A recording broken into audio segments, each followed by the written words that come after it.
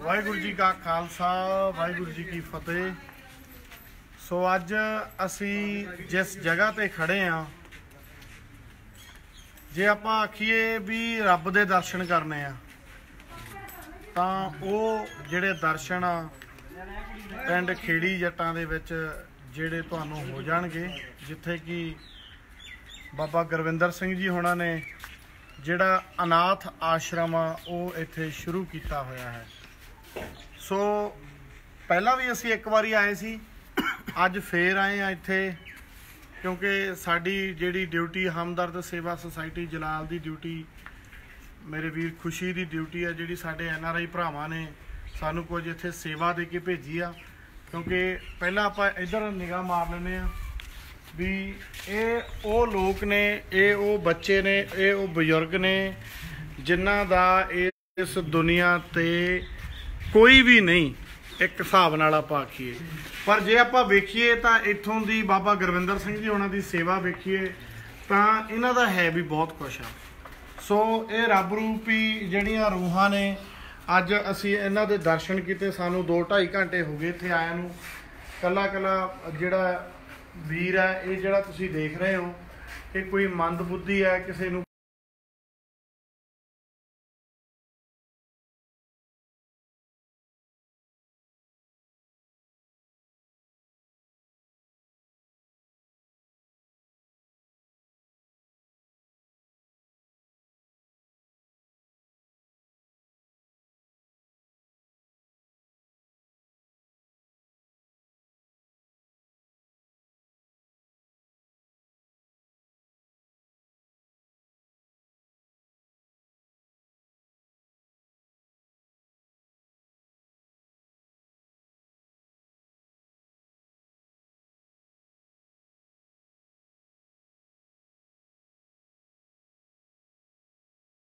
ਅਰਬਿੰਦ ਤੋਂ ਇਹ ਸਾਰਾ ਦੱਸ ਦਿਓ ਵੀ ਇੱਥੇ ਹੁਣ ਤੱਕ ਕਿੰਨੇ ਜਿਹੜੇ ਮਰੀਜ਼ ਆਏ ਆ ਤੇ ਕਿੱਦਾਂ ਦਾ ਇਹ ਜਿਹੜਾ ਤੁਹਾਡਾ ਕਾਰਜ ਆ, ਉਹ ਚੱਲ ਰਿਹਾ? ਗੁਰੂ ਰੂਪ ਸਾਧ ਸੰਗਤ ਜੀ, ਸਭ ਤੋਂ ਪਹਿਲਾਂ ਦੇਸ਼ਾਂ ਵਿਦੇਸ਼ਾਂ ਦੇ ਵਿੱਚ ਵਸਦੇ ਹੋਏ ਪੰਜਾਬ ਦੀ ਧਰਤੀ ਨੂੰ, ਮਾਂ ਮਿੱਟੀ ਨੂੰ ਅਤੇ ਮਨੁੱਖਤਾ ਨੂੰ ਪਿਆਰ ਕਰਨ ਵਾਲੇ ਸਾਰੇ ਵੀਰਾਂ, ਭੈਣਾਂ ਨੂੰ ਫਤਿਹ ਪ੍ਰਵਾਨ ਹੋਵੇ। ਵਾਹਿਗੁਰੂ ਜੀ ਕਾ ਖਾਲਸਾ, ਵਾਹਿਗੁਰੂ ਜੀ ਕੀ ਫਤਿਹ। ਸਮੂਹ ਸਾਧ ਸੰਗਤ ਜੀ, ਗੱਲ ਇਸ ਤਰ੍ਹਾਂ 10 ਪਹਿਲਾਂ ਪੜਦਾ ਸੀ ਕਾਲਜਾਂ ਯੂਨੀਵਰਸਿਟੀਆਂ 'ਚ, ਚਲੋ ਪੜ੍ਹਾਈ ਪੂਰੀ ਹੋ ਗਈ। ਉਸ ਤੋਂ ਬਾਅਦ ਅਸੀਂ ਆਪਣੇ ਪਿੰਡ ਖੇੜੀ ਜੱਟਾਂ, ਇੱਥੇ ਮੇਰੇ ਕੋਲੇ ਆਪਣੀ ਜ਼ਮੀਨ ਸੀਗੀ ਤੇ ਆਪਣੇ ਘਰ ਦੀ ਜ਼ਮੀਨ ਸੀ, ਚਲੋ ਵਾਹਿਗੁਰੂ ਦੀ ਕਿਰਪਾ ਦੇ ਨਾਲ ਤਕਰੀਬਨ ਹਰਮੰਦਰ ਸਾਹਿਬ ਅਸੀਂ ਅਰਦਾਸ ਕਰਕੇ ਆਏ ਸੀ ਵੀ ਮਹਾਰਾਜ ਸਾਡੇ ਤੋਂ ਕੋਈ ਸੇਵਾ ਲਓ। ਹੈ ਲੰਮੀ ਸਟੋਰੀ ਮੈਂ ਸ਼ਾਰਟ 'ਚ ਹੀ ਦੱਸਦਾ, ਫਿਰ ਅਸੀਂ ਆਪਣੇ ਖੇਤ ਦੇ ਵਿੱਚ ਹੀ ਬੈਠ ਗਏ ਸੀ। ਇੱਥੋਂ ਅਸੀਂ ਆਪਣੇ ਘਰੋਂ ਮਹਾਰਾਜ ਦੀ ਹੈ ਤਾਂ ਸਾਰਾ ਕੁਝ ਗੁਰੂ ਨਾਨਕ ਦਾ ਪਰ ਅਸੀਂ ਰੁਪਿੰਦਰ ਵੀਰ ਜਿਹੜੀ ਇਸ ਆਸ਼ਰਮ ਦੀ ਸ਼ੁਰੂਆਤ ਕੀਤੀ ਸੀ, ਉਹ ਬਿਨਾਂ ਕਿਸੇ ਤੋਂ ਦਾਨ ਲਏ। ਤਕਰੀਬਨ 15-16 ਲੱਖ ਰੁਪਈਆ ਉਹ ਅਸੀਂ ਆਪਣੀ ਚਰਤ ਕਮਾਈ ਚੋਂ ਕਮਾ ਕੇ ਆਪਣੀ ਜ਼ਮੀਨ ਦੇ ਵਿੱਚ ਲਾਇਆ ਸੀ। ਕੁਝ ਜ਼ਮੀਨ ਸਾਡੀ ਵਿਕ ਵੀ ਗਈ ਸੀਗੀ, ਕਿਉਂਕਿ ਇਸ ਬਿਲਡਿੰਗ ਨੂੰ ਖੜਾ ਕਰਨ ਦੇ ਲਈ। ਉਹ ਅਸੀਂ 16-17 ਲੱਖ ਰੁਪਇਆ ਕੁਝ ਕਮਰੇ ਬਣਾਏ, ਬਿਜਲੀ ਦਾ ਪ੍ਰਬੰਧ, ਲੈਟਰਿੰਗ, ਬਾਥਰੂਮ, ਮਤਲਬ ਪ੍ਰੋਪਰ ਪ੍ਰਬੰਧ ਕੀਤਾ। ਫਿਰ ਤਕਰੀਬਨ 2 ਸਾਲ ਤੋਂ ਇਹ ਜਿਹੜੀ ਅਸੀਂ ਲੌਸਮੈਂਟ ਟੂਰਨਾਮੈਂਟਾਂ ਤੇ ਕੀਤੀ ਸੀ ਵੀ ਕੋਈ ਵੀ ਬੇਸਹਾਰਾ ਬਜ਼ੁਰਗ, ਕੋਈ ਬੱਚਾ ਜਿਹੜਾ ਰੋਡ ਤੇ ਪਿਆ, ਉਹਦੀ ਸੇਵਾ ਕਰਨ ਦਾ ਮੌਕਾ ਸਾਨੂੰ ਦਿਓ। ਉਹ ਵੀਡੀਓ ਵਾਇਰਲ ਹੋਈ, ਫਿਰ ਬਜ਼ੁਰਗ ਬੱਚੇ ਆਉਣੇ ਸ਼ੁਰੂ ਹੋ ਗਏ। ਫਿਰ 2 ਸਾਲਾਂ ਤੋਂ ਇਹ ਸੇਵਾ ਜਿਹੜੀ ਨਿਰੰਤਰ ਚੱਲ ਰਹੀ ਹੈ। ਮੈਂ ਦੱਸਣਾ ਚਾਹੁੰਦਾ, ਮੇਰੇ ਵੀਡੀਓ ਤਕਰੀਬਨ 2 ਸਾਲਾਂ ਦੇ ਵਿੱਚ ਦਾਸ ਤੋਂ ਗੁਰੂ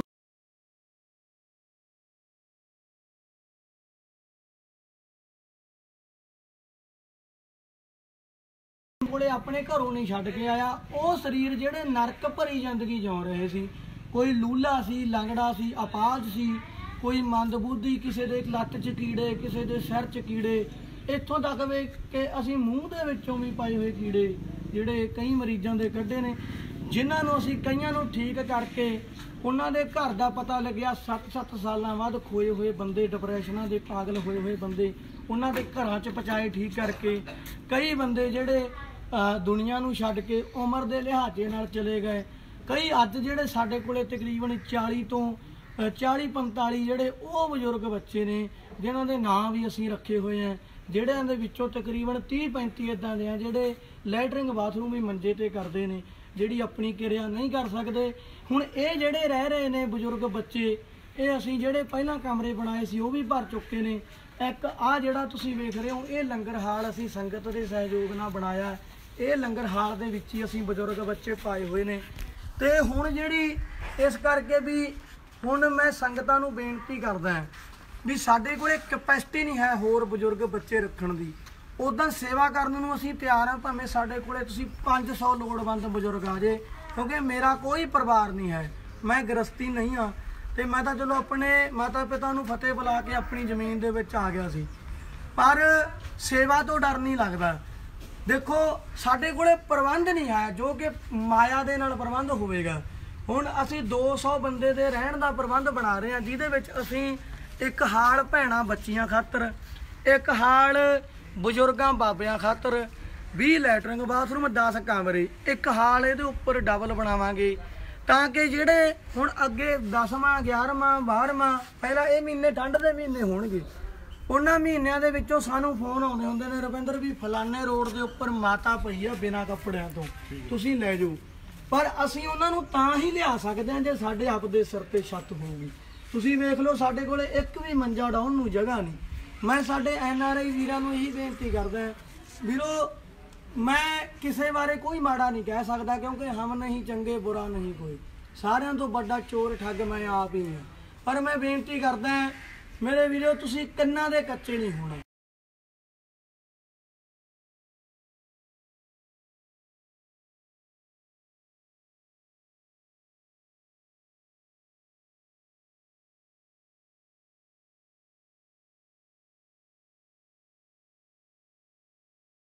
ਕਰਨਾ ਇੱਟਾਂ ਦਾ, ਸੀਮੈਂਟ, ਬਜਰੀ, ਰੇਤਾ, ਸਰੀਆ ਲੈਟਰਿੰਗ, ਬਾਥਰੂਮਾਂ ਦਾ ਸਮਾਨ, ਢੂਲੇ ਦਾ ਸਮਾਨ, ਬਿਜਲੀ ਦਾ ਸਮਾਨ, ਮੰਜੇ, ਬਿਸਤਰੇ, ਕਣਕ, ਚੌਲ, ਰਾਸ਼ਨ, ਦਵਾਈਆਂ, ਹੋਰ ਤਰ੍ਹਾਂ ਤਰ੍ਹਾਂ ਦੇ ਜਿਹੜੇ ਇੱਥੇ ਖਰਚੇ ਨੇ, ਉਹ ਜਿਵੇਂ ਤੁਸੀਂ ਮੰਨ ਲਓ ਮੈਨੂੰ ਲੱਖ ਰੁਪਈਆ ਦੇ ਗਏ।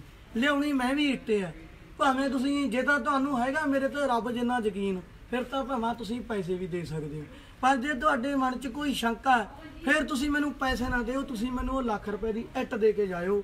ਮੇਰੇ ਵੀਰੋ ਇਹ ਤਕਰੀਬਨ 30 35 ਹੈ ਤਾਂ ਸਾਰਾ 50 ਲੱਖ ਦਾ ਕੰਮ ਸੀ, ਪਰ ਤਕਰੀਬਨ 30 35 ਲੱਖ ਦਾ ਕੰਮ ਹਜੇ ਬਾਕੀ ਹੈ। ਇੱਕ ਬੰਦਾ ਨਹੀਂ ਕਰ ਸਕਦਾ, ਕੋਈ ਇੱਕ ਬੰਦੇ ਨੂੰ ਆਪਾਂ ਕਹੀਏ ਉਹ ਨਹੀਂ ਕਰ ਸਕਦਾ।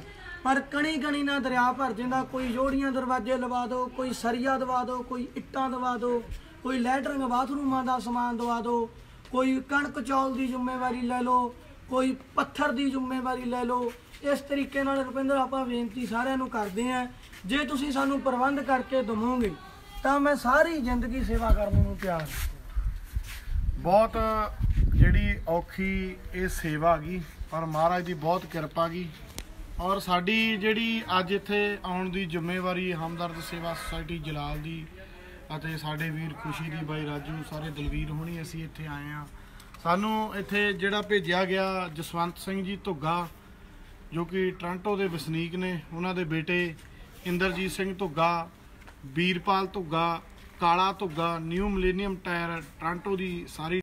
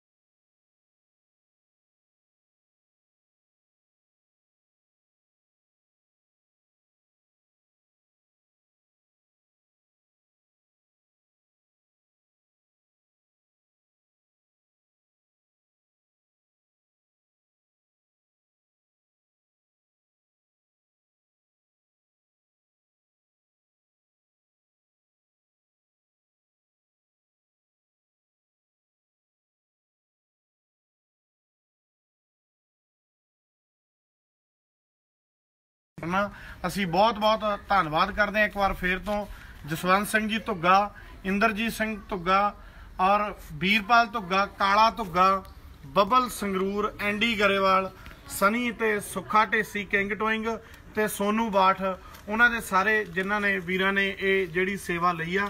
ਬਾਬਾ ਜੀ ਨੇ ਪਹਿਲਾਂ ਵੀ ਕਿਹਾ ਵੀ ਇਹ ਕੋਈ ਇਕੱਲਾ ਬੰਦਾ ਨਹੀਂ ਕਰ ਸਕਦਾ। ਸੋ ਹੋਰ ਵੀ ਜਿਹੜੇ ਐਨ ਆਰ ਆਈ ਵੀਰ ਆ, ਸਾਡੀ ਅੱਜ ਉਹਨਾਂ ਨੂੰ ਹੱਥ ਬੰਨ ਕੇ ਬੇਨਤੀ ਆ ਵੀ ਆਪਾਂ ਇਸ ਤਰ੍ਹਾਂ ਦੇ ਜਿਹੜੇ ਆਸ਼ਰਮ ਆ, ਕਿਉਂਕਿ ਸਭ ਤੋਂ ਮੈਂ ਪੰਜਾਬੀ ਦੇ ਵਿੱਚ ਗੱਲ ਕਹੂੰਗਾ, ਸਭ ਤੋਂ ਔਖਾ ਕੰਮ ਕੀ ਆ? ਕਿਸੇ ਦੀ ਲੈਟਰਨ ਬਾਥਰੂਮ ਨੂੰ ਸਾਫ਼ ਸਾਫ਼ ਕਰਨਾ। ਸੋ ਸਭ ਤੋਂ ਔਖੀ ਜਿਹੜੀ ਇਹ ਸੇਵਾ ਬਾਬਾ ਜੀ ਹੁਣੀ ਲੈ ਰਹੇ ਆ, ਇਹ ਕੋਈ ਇਹ ਨਹੀਂਗਾ ਵੀ ਚੋਲਾ ਪਾ ਲਿਆ, ਇਹ ਹੁਣੀ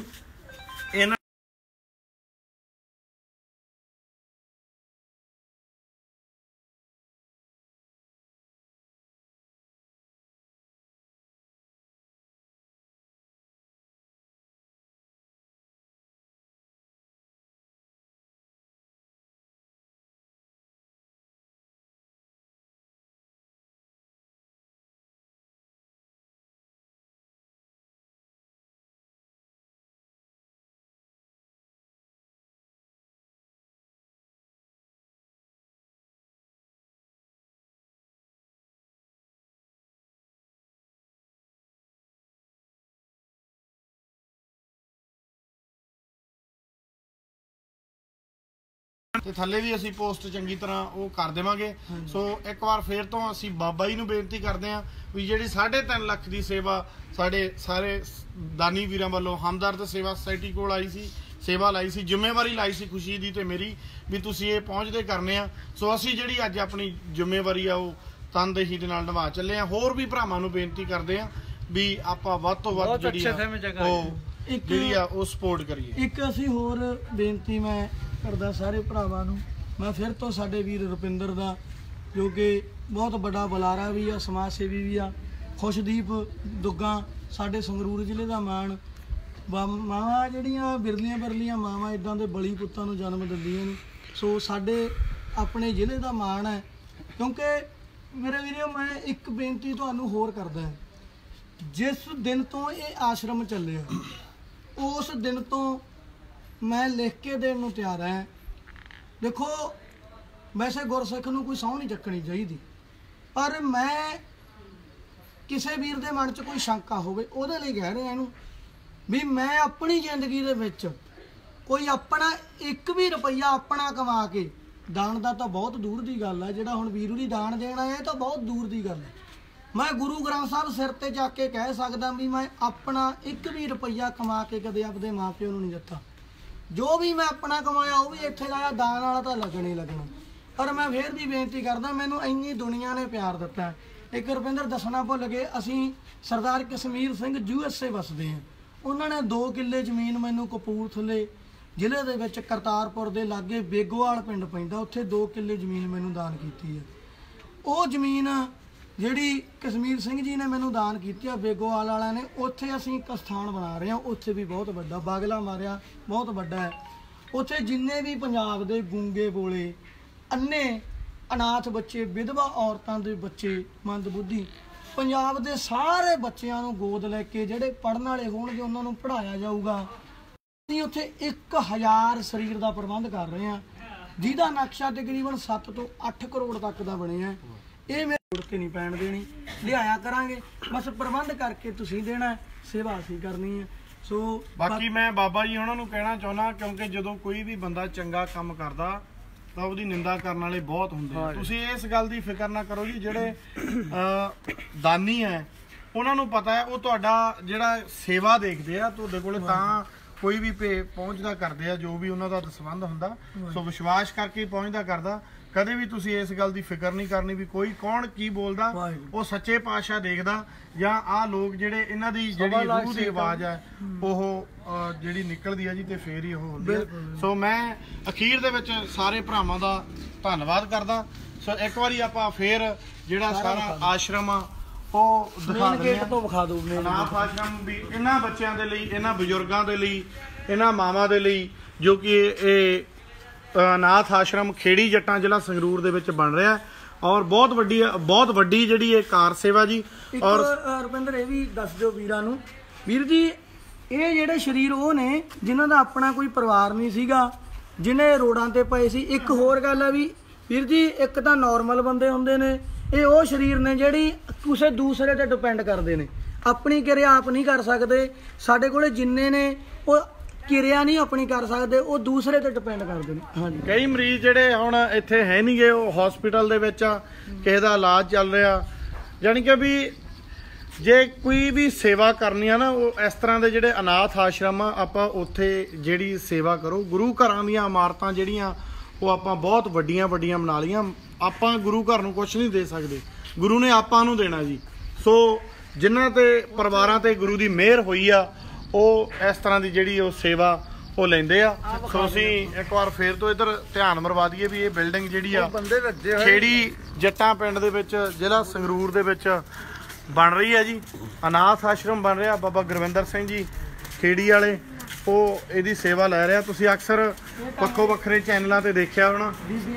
ਸੋ ਇੱਧਰ ਬੱਚੇ ਆ ਜਿਹੜੇ ਇਹਨਾਂ ਦੀ ਵੀ ਸੇਵਾ ਇਹਨਾਂ ਨੇ ਲਈ ਹੋਈ ਆ। ਛੋਟੇ ਛੋਟੇ ਬੱਚੇ ਦੇ ਲੋ ਇਹ ਮੰਦ ਬੁੱਧੀ ਮੰਦ ਬੁੱਧੀ ਆ ਜੀ ਸੋ ਆ। ਪੂਰੇ ਪਰਿਵਾਰ ਨੂੰ ਜਿਹੜੀਆਂ ਚਾਰ ਬੇਟੀਆਂ ਇਹਨਾਂ ਨੇ ਆਪ ਲੈ ਕੇ ਜਿੱਦਾਂ ਉਹਨਾਂ ਦੀ ਪੜ੍ਹਾਈ ਕਰਵਾ ਰਹੇ ਆ ਉਹਨਾਂ ਨੂੰ ਜਿਹੜਾ ਉਹ ਪਾਲ ਰਹੇ ਆ। ਆ ਛੋਟੇ ਜਿਹੇ ਬੱਚੇ ਆ। ਸੋ ਇੱਧਰ ਵੀ ਇੱਕ ਤੁਹਾਨੂੰ ਵੀਰ ਦਿਖਾਉਨੇ ਆ। ਇੱਧਰ ਭੈਣ ਜੀ ਹੁਣੀ ਪਏ ਆ ਇਹ ਵੀ ਇਸ ਤਰ੍ਹਾਂ ਮੰਦ ਬੁੱਧੀ ਆ। ਉਹ ਵੀਰ ਦਾ ਐਕਸੀਡੈਂਟ ਹੋ ਗਿਆ ਸੀ। ਹਾਂਜੀ ਕਿੱਦਾਂ? ਵਧੀਆ। ਸਤਿ ਸ਼੍ਰੀ ਅਕਾਲ ਬੁਲਾ ਦੇ।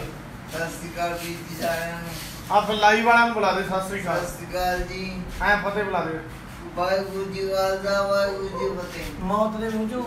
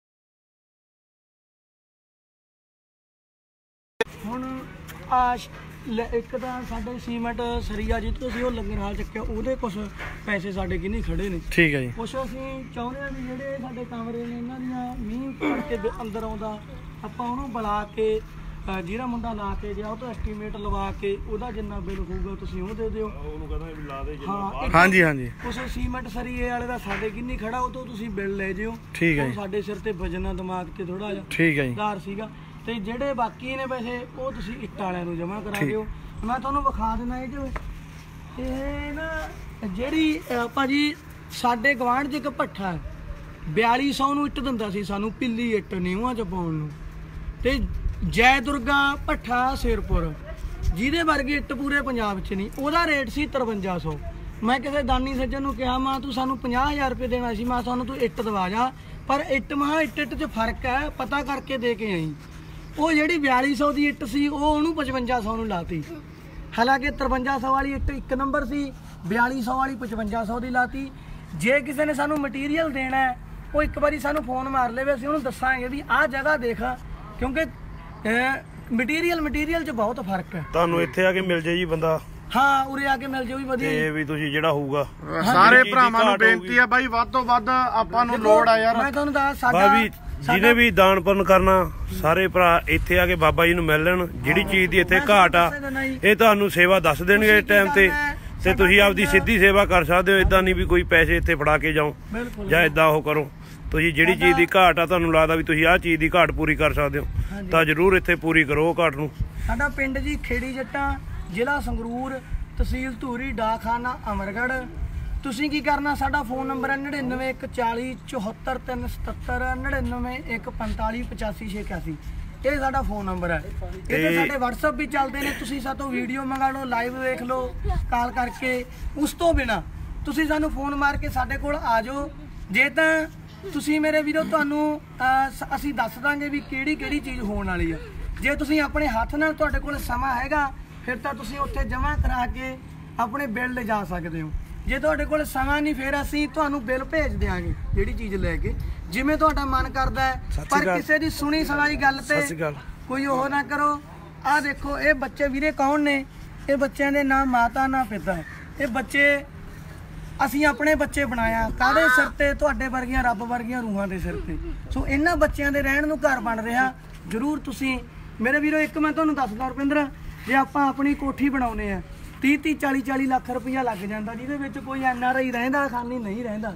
ਇੱਥੇ ਮੇਰੇ ਵੀਰੋ 25 30 ਲੱਖ ਰੁਪਈਆ ਲਾ ਕੇ 200 ਬੰਦੇ ਦਾ ਘਰ ਬਣਦਾ। ਹਾਂਜੀ ਬਿਲਕੁਲ। ਸੌਦਾ ਮਹਿੰਗਾ ਨਹੀਂ ਪੰਜਾਬੀਓ ਵੇਖ ਲਓ ਜੇ ਕਰਨਾ ਹੈ। 200 ਬੰਦੇ ਦਾ ਘਰ ਬਣਦਾ ਹੈ 20 30 ਲੱਖ ਰੁਪਇਆ ਲਾ ਕੇ ਆਪਾਂ 50 50 ਆਪਦੀਆਂ ਖੋਟੇ ਤੇ ਲਾਉਨੇ ਆ ਤੇ ਜਿਨ੍ਹਾਂ ਨੇ ਬਾਬਾ ਜੀ ਦਾ ਨੰਬਰ ਤੇ ਕਾਲ ਕਰਨੀ ਬਾਬਾ ਜੀ ਤੇ ਨਹੀਂ ਰੁਪਿੰਦਰ ਹੈਗਾ ਜਿਹਦੀ ਹਮਦਰਦ ਸੇਵਾ ਸੁਸਾਇਟੀ ਜਲਾਲ ਆ ਤੇ ਵੀ ਇਹਦੇ ਨਾਲ ਵੀ ਸੰਪਰਕ ਕਰ ਸਕਦਾ। ਵੀ ਜਿੰਨਾ ਹੋਊਗਾ ਇਹ ਸਾਰਾ ਕੁਝ ਬੇਨਤੀ ਹੈ ਜੀ ਪਹਿਲੀ ਗੱਲ ਤਾਂ ਤੁਸੀਂ ਇੱਥੇ ਆਓ ਸੰਪਰਕ ਤਾਂ ਉਹ ਕਰਦੇ ਆ ਵੀ ਚਲੋ ਠੀਕ ਆ ਆਪਾਂ ਚੱਲਵੀਂ ਗੱਲ ਕਰਤੀ। ਇੱਥੇ ਆ ਕੇ ਦੇਖੋ।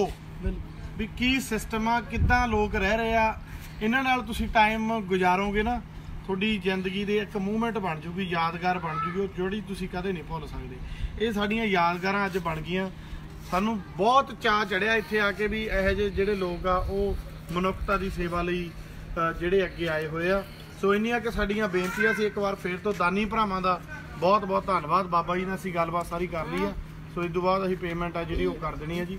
ਵਾਹਿਗੁਰੂ ਜੀ ਕਾ ਖਾਲਸਾ, ਵਾਹਿਗੁਰੂ ਜੀ ਕੀ ਫਤਿਹ।